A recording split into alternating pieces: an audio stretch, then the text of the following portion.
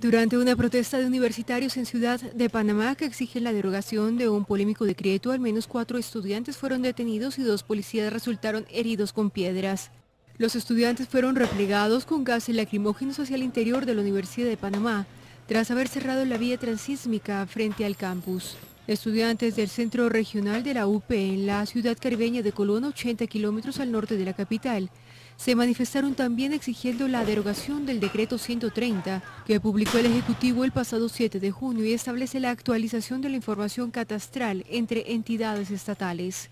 La suspensión temporal del decreto fue anunciada este domingo por el ministro panameño de Economía y Finanzas, Dulcidio de la Guardia, tras otra manifestación que acabó en enfrentamientos el sábado en Ciudad de Panamá.